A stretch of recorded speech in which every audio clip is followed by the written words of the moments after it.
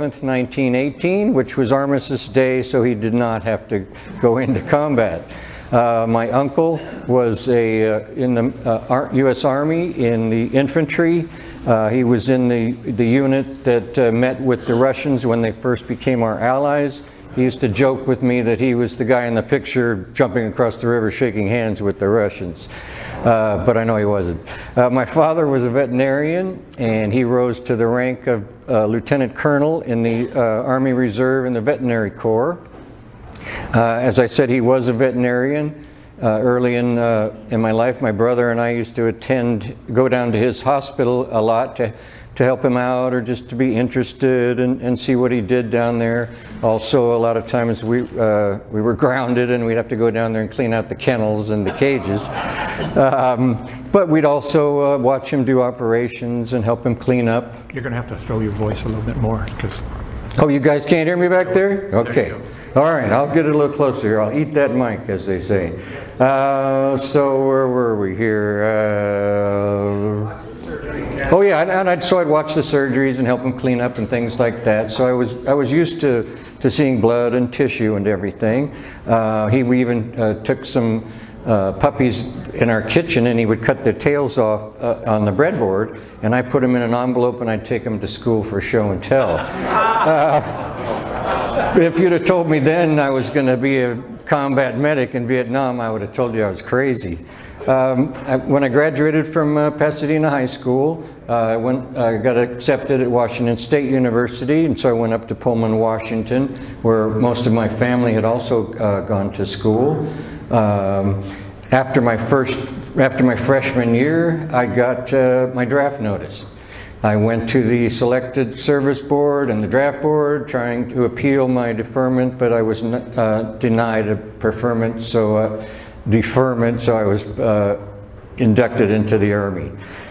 Went to, uh, I went to uh, Fort Ord, uh, California for my basic training. I was uh, very athletic in school. I had uh, gymnast and baseball, lightweight football at college.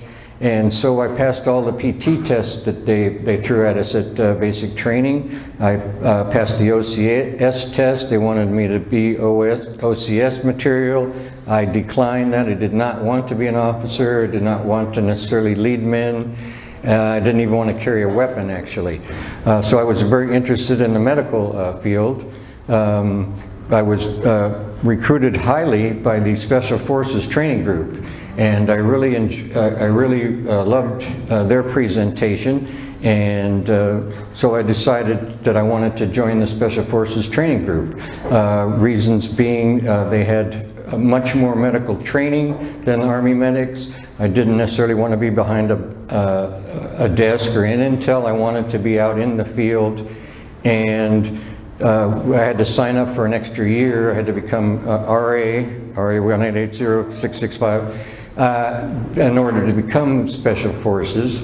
Uh, so that was, uh, and the main reason was that you'd had to go to jump school, become a paratrooper. And I was making $86 a month, and that was $55 a month extra, plus the extra year, so that was uh, a good income for me.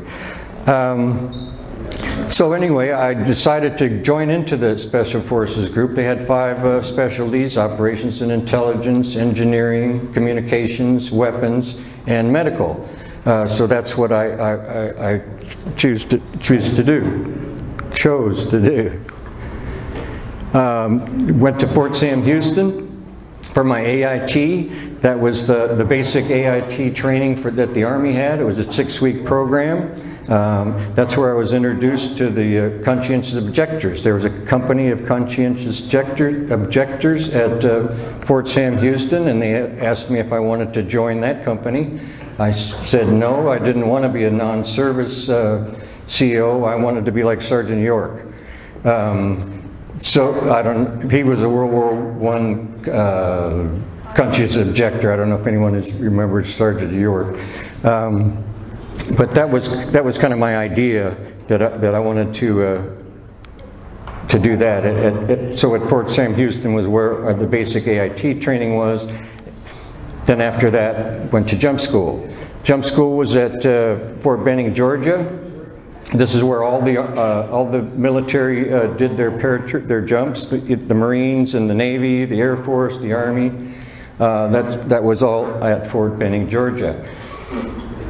We first learned uh, classrooms. We had we learned the ins and outs of jumping. We, we worked with the riggers, uh, and then we finally learned how to pack our own chutes.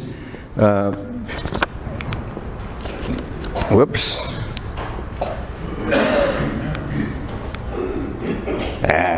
I got to go backwards here. Excuse me.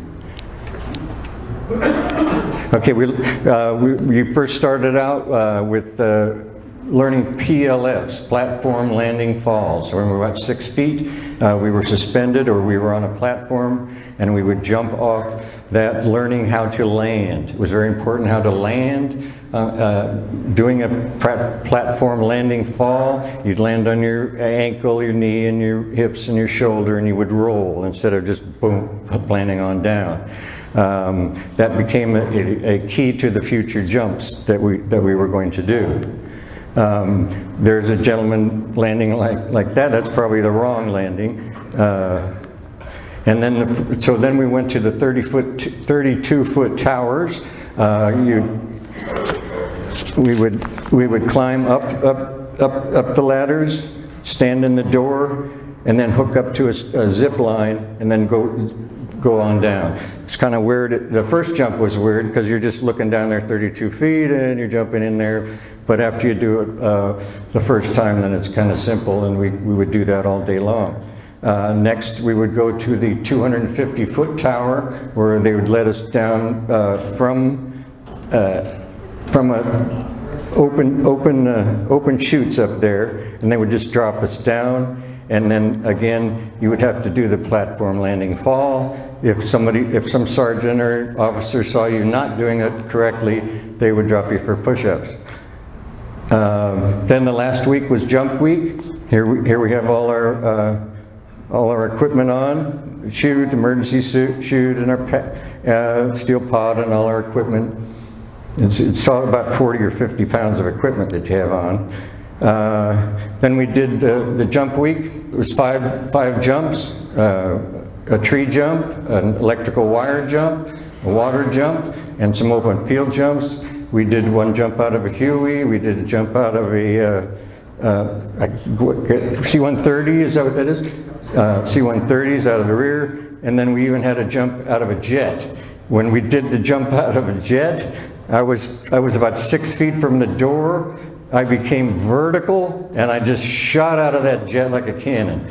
I was second or third man out on the stick and I was the last one to land because I, I went flying up. Uh, then we get your jump wings. And then, uh, uh, then I was off to uh, Sam Houston to start the Special Forces medical training. At Fort, uh, Fort Sam Houston with the medical training, uh, that was when we had classroom, classroom work. We worked with the University of Texas professors and doctors as well as Army doctors. we went over anatomy, physiology, histology, pathology, uh, emphasis on parasitology because of Vietnam, and we had great, uh, great instructors and great training in that sense. Uh, then we were off to Fort Bragg for the combat uh, and special forces medical training. Uh, first at Fort, Bragg, uh, we did a survival, 10 days of survival out in the swamps of North Carolina. And then we were cross-trained, thank you. then we were cross-trained in in all the five areas of, of Special Forces. Uh, operations and intelligence, we went to uh, Fort Devens in Ayer, Massachusetts. Uh, then we were cross-trained in communications, engineering, and weapons, where we learned to assemble, uh, to take apart and assemble every and fire every weapon that Special, Special Forces had. I became an expert in almost all the weaponry, uh, so the Special Forces said it was a shame that I was going to be a conscientious objector.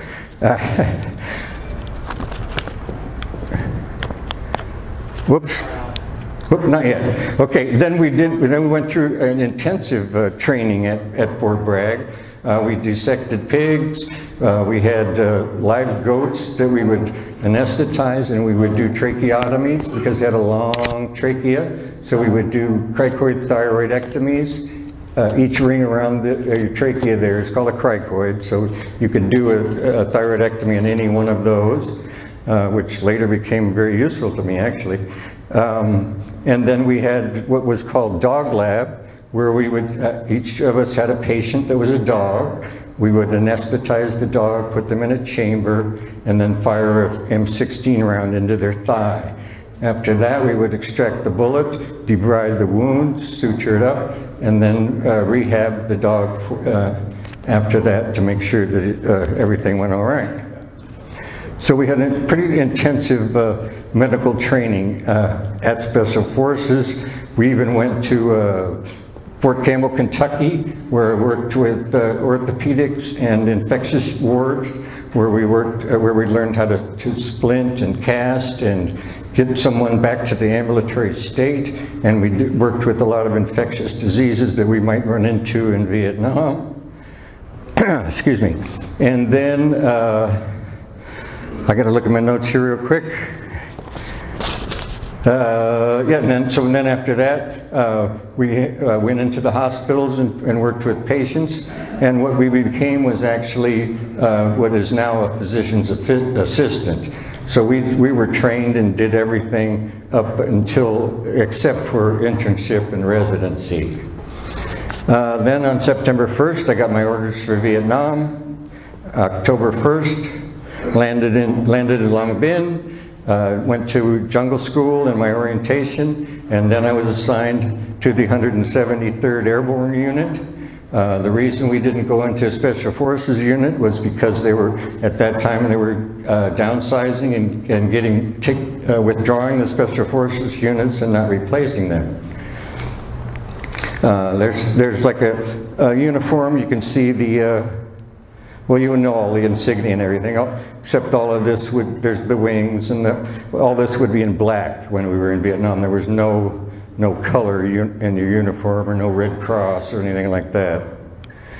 Um, on, a, on a patrol, when I first got into Nam, um, basically what we were doing was uh, recon and, and uh, patrols. Uh, on this patrol, whoops, this patrol here, uh, I was usually uh, near the medic. Not, I, I, was the medic. I was usually near the RTO guy. Uh, so this would be me here or here, and the lieutenant was also there, uh, usually at the end of the end of the platoon, end of the stick, end of the platoons. Uh, this particular platoon, I, I, don't appreciate it because the guys are way too close together.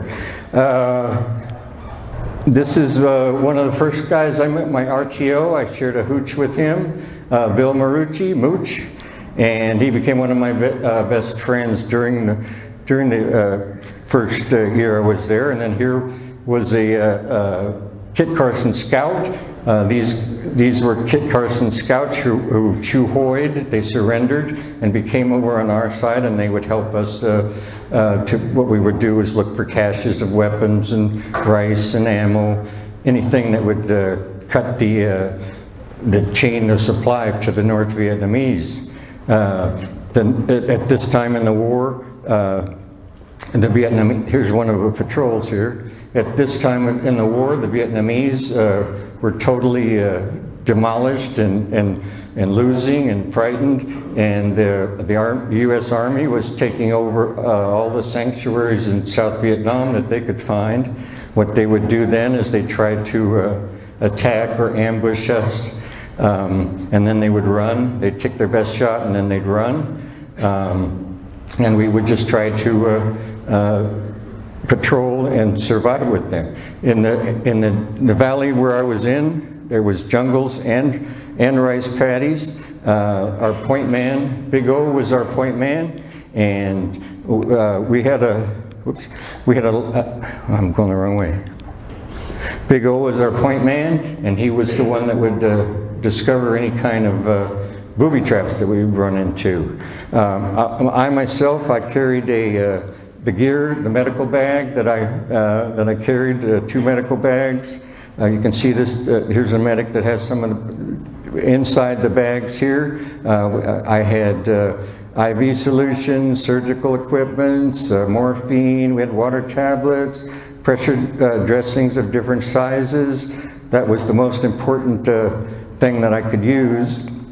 Uh, I had more supplies than a regular combat medic just because of my, of my training. Um, the, uh, our water all had to be treated. That was the medic's uh, option to keep the water. I usually carried two to four canteens uh, with me, so I, so I had enough water for everyone, as well as the, uh, uh, the water tablets that we, that we had. Uh, then, let's see, okay, there's equipment.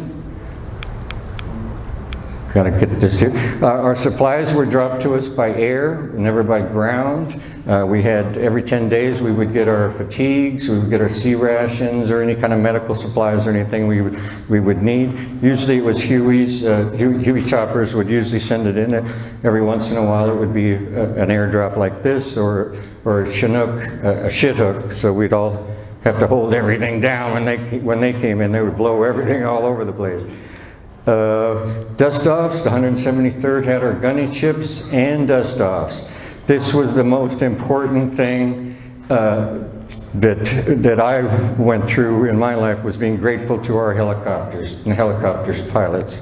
Um, the dust-offs, uh, they would come in uh, and, and take any patient that I had. The very first uh, time I was dropped into our platoon, I think was the first week I was in country, uh, our platoon, our company was going into the An Lao Valley and the platoons were setting up their, uh, their, their bases. Um, when I got in in the morning, that afternoon we got hit by uh, uh mortars, AK-47s and sniper fire. Uh, two, uh, two of the men that were hit, there was a medic there that I was replacing. He was working on one of the, one of the wounded guys. I was working on the other wounded guy. Uh, he had chest, uh, second chest wound and his jaw was all uh, uh torn apart and he was not breathing. So the cricothyroidectomy, it was boom, right, the first week. So uh, that was kind of cool. And then we put the, I put, as we were putting, called in a dust off, uh, about five or 10 minutes, that dust off was there, put my, my soldier on board, and the other medic put his soldier on board. He jumped onto the dust off and he said, I'm out of here. I've got two weeks left in country. See you later. So here I was with the, my new platoon. Uh, they were, they knew that at least they accepted me that I was repairing and, and fixing uh, the patient that I had, the soldier that I had. And then when they found out I was specially uh, forces trained, they were very impressed. And and so then they, they accepted me into the, uh, into the platoon. Um, here's a few uh, statistics uh, about, about the choppers and the dust-offs in Vietnam. Uh, 18,000, 5,000, well, you can read it all there. Pilots lost, crewmen lost, the hours, absolutely incredible. Booby traps in our area were, was probably the biggest uh, problem that we had. There were some sweeps, the NVA would come by every once in a while, or we had snipers, or, uh, but the booby traps was, was the worst. Uh, our point man uh, was a very good point man, and he would find most of them. Of course, he couldn't find all of them, and if we uh, if he couldn't find them, then we would get hit, or other other platoons would get hit. Here is Big O.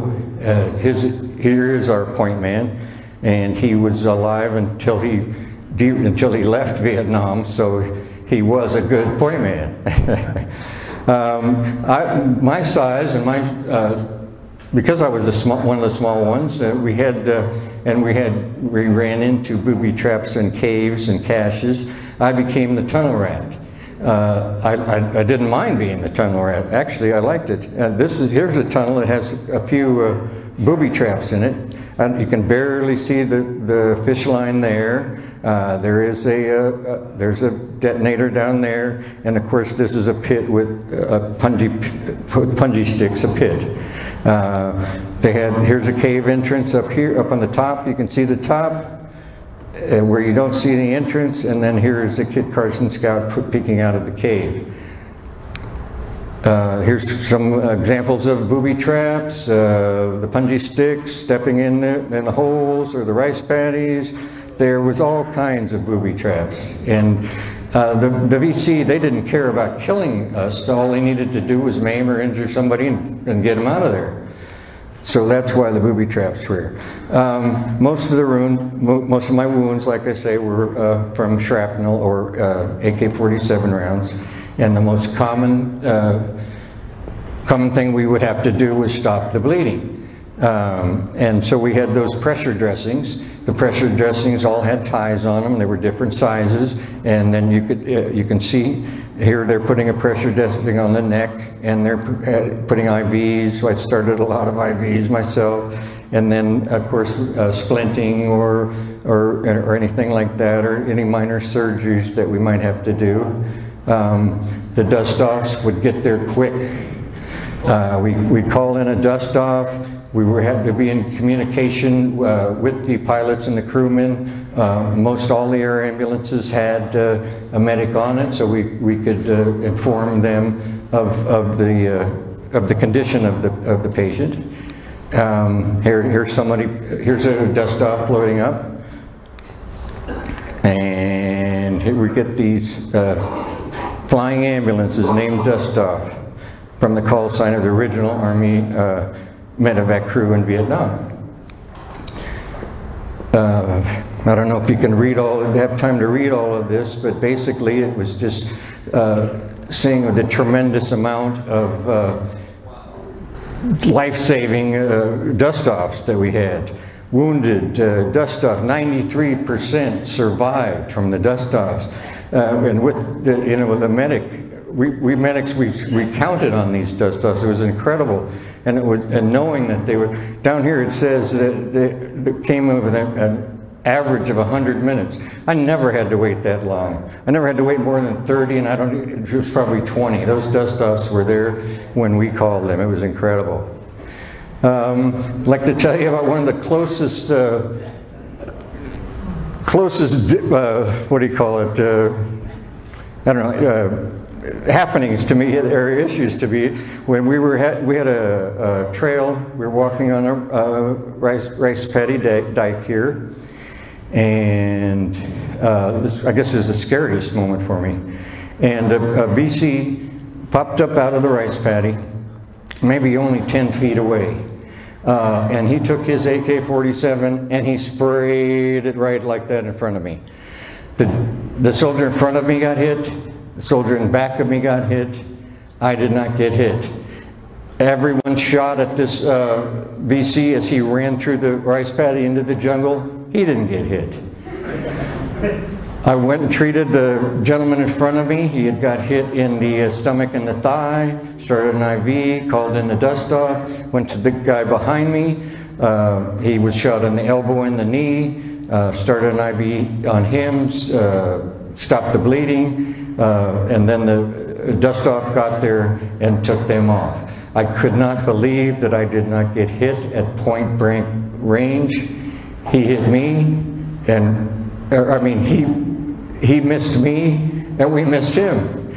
Uh, but that was the closest that I, I, was in many firefights and ambushes, but that was really the, the closest one to, uh, to me getting hit. We also had a, uh, a time where we had a sniper uh, near, in a church down near our, uh, our position, our platoon's position. We were up on a hill, and he would fire in a few rounds every night at us, and we'd shoot a couple of rounds back at him, but we never got him. I remember one evening, it was, it was late at night, I was walking by the medical hooch, all our hooches were sandbags and everything, and a bullet, I literally heard a bullet whoosh by me and smack right into a, a sandbag next to my head. And I started laughing. Uh, what I got in my mind, a visual in my mind, was a cartoon with the bubbles where it says whoosh or pow or sack or thud, and that's exactly what my mind saw and felt at that time. Whoosh, thud, boom, and I started laughing. And I guess they say, what do they say? You'd never hear the one coming at you, right? So I was lucky I didn't hear it. Or and I was lucky I heard it. Um, when we'd go on, uh, we, another uh, uh, thing that we would do there in the Army, uh, now that they were uh, downsizing and instead of search and destroy, we were now with smaller companies and smaller units and uh, compared to the larger units earlier on in search and destroy, now we were search and hold and pacification. So we, a lot of times we would go to the villages and do uh, med caps and treat all the people and everything.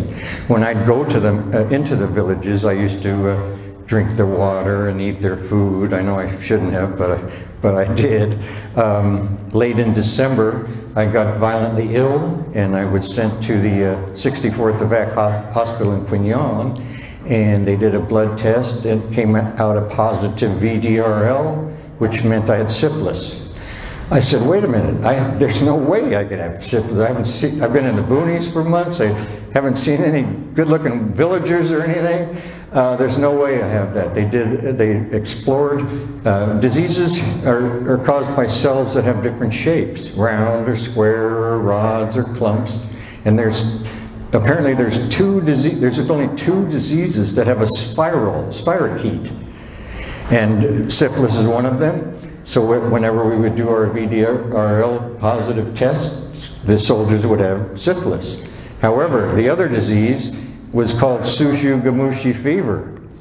And it came from uh, rat feces or, or bad water, which I had been partaking in. So they found out that I had uh, this uh, Tsutsugamushi fever instead of syphilis, so they cured me and sent me on back, into, back to my unit.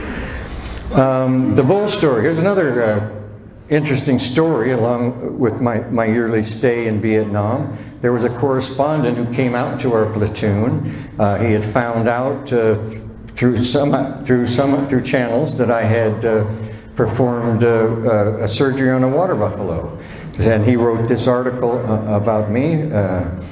Wally has treated all kinds of Vietnam people, from fevered Mama San to the wounded enemy prisoner.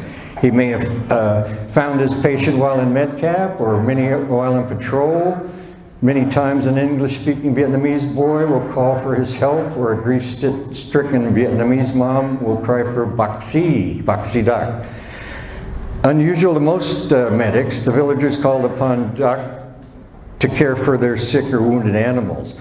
Ziegler recalled one time, um, once a, a Brahma bull charged at our point man, Big O, in our patrol, and the point man uh, panicked and shot the bull in the leg.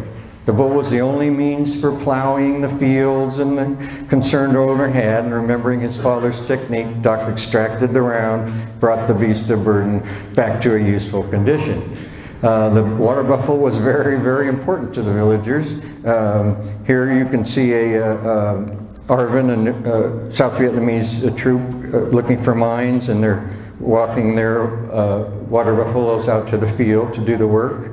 Uh, they were handled by the kids even. Um, actually, most, uh, in almost all the villages, you'd only see kids from age 12 and under and uh, old men from 70 and over. They're, all the other guy, all the other 12 to 70 year olds were VC.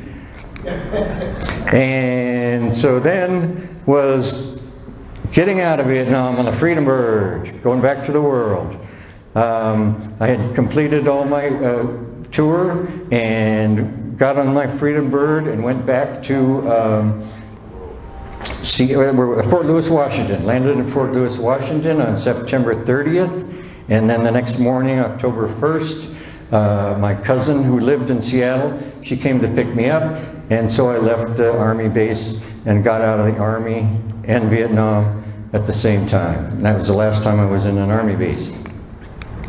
Um, I wanted to show you just a, a, as a coincidence, uh, because of uh, my, my mind, I was never officially a, a, CO, but in my mind I was a conscientious objector and never carried a weapon in Vietnam. Um, this is a commemorative stone for uh, conscientious objectors, and it happened to be dedicated uh, in 1994 on May 15th, which is my birthday. May 15th, not 1994, but, well, I guess it was 1994 too. And this is the monument to all those who have established and maintaining the right to refuse to kill. Uh, here's a monument for combat medics. Uh, this is at Fort Sam Houston. It's got the, uh, the dust off, the, the dust off Huey up there, and the medic uh, treating the uh, treating the, the wounded. There's also a uh, World War II uh, combat medical memorial at Sam, Fort Sam Houston as well. Uh, my RTO, Mooch, Oh, here's the, here's the combat medical badge. The, when I got that going to the combat zone in Vietnam, uh, Special Forces combat medics don't wear this badge anymore. They only wear the CIB, the combat infantry badge. Uh, here is my uh, RTO, Mooch. Uh, about uh, three years ago, uh, he called me up. He said, Doc, we, uh, 773rd is having a reunion down in San Diego. Can you make it? Uh, he lives in Florida. And I said, sure, I'll do it. So here I, I ended up uh, uh, meeting my friend Mooch. And that's it. I, I, I, I did want to say one other thing. Uh, to me, you chopper pilots, you helicopter pilots, are the best damn thing that ever happened to me and all the wounded people in Vietnam or any of the wars.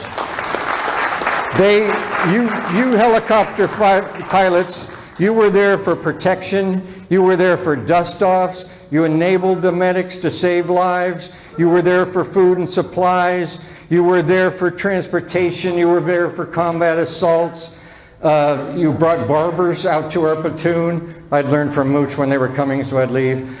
And donut dollies. Uh, I had three Met, New York Mets won the World Series in October 1969. When I first got there, I listened to the World Series. Then in, uh, I think it was March or April, three of the New York Mets were choppered out into uh, my platoon. Ron Swoboda, Jim Mudcat Grant, and Milt Pappas. So, and the chopper pilots made that happen. You guys, I respect every damn one of you. Thank you so much.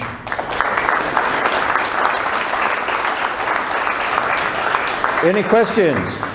Yes, uh, Wally, would you be willing to tell them how many American lives you've saved while you're in Vietnam? Uh, well, I, I know David and I have been talking about this. It, it was more than a dozen, and I only lost, and that's that I, what I know. There's only two men that I lost that were alive when I got to them the whole year. But, uh, I, but it was more than a dozen that I, that I did save live, and me, even more that just patched up and sent, sent away. Yes, yes, sir. Yes, sir. My brother and uh, his best friend were both combat medics. His best friend was a SEAL, but uh, he was KIA in 68. Yeah. Uh, outside of Longview. Uh, was all COs exempt or? No, no, no. There was non-service COs and service COs. Uh, there were a lot of uh, COs that we, we didn't care. We wanted to go to war. Uh, and uh, like I say, uh, there were other COs that just had that just stayed stateside. Correct.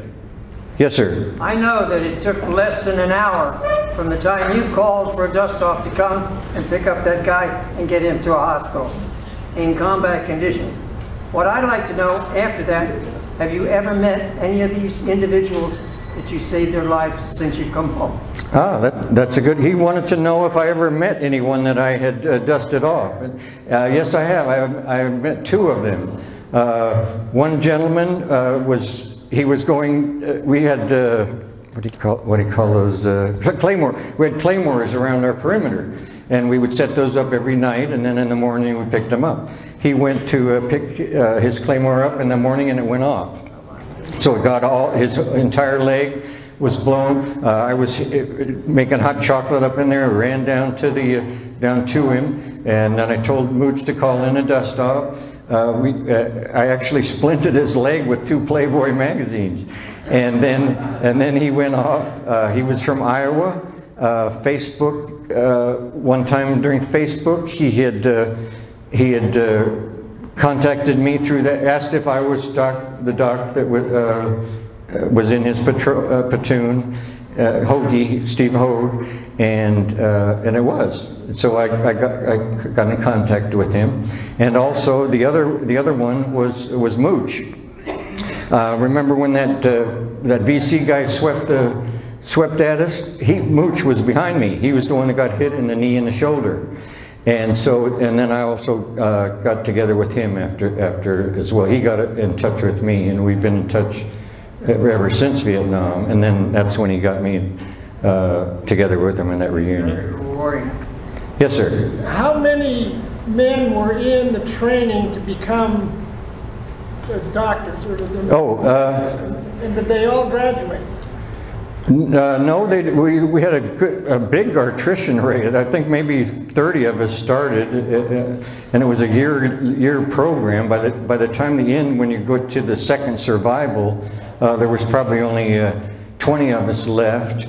Uh, then there was, they told us that the, the top five would go to, to the Berlin Brigade. The Special Forces had a Berlin Brigade, just guard duty in Europe. And uh, so, but then when they put up the list, the top five of us uh, got to Vietnam. Uh, so there was probably, there was probably only about uh, uh, 15 of us left. Yeah, right. Right. That sounds like the Army, doesn't it? Yes, sir. What'd you do as a civilian when you got out? Uh, actually, as a civilian, I went to a, a medical school and I became a doctor, became a psychiatrist, and I've been, uh, uh, I had a lot of patients up until then, and about uh, 20 years ago, 25 years ago, I retired from medicine and went back to my love, the theater. Thank you. Thank you, Ron. Thank you. What a great presentation. Oh, thank you. And uh, we also want to mention the, uh, the speakers bureau, or the trainers